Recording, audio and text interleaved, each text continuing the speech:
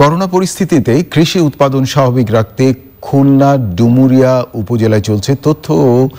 যোগাযোগ প্রযুক্তির ব্যবহার অনলাইনে কৃষকদের নিয়মিত দিক নির্দেশনা দিচ্ছেন কৃষি কর্মকর্তা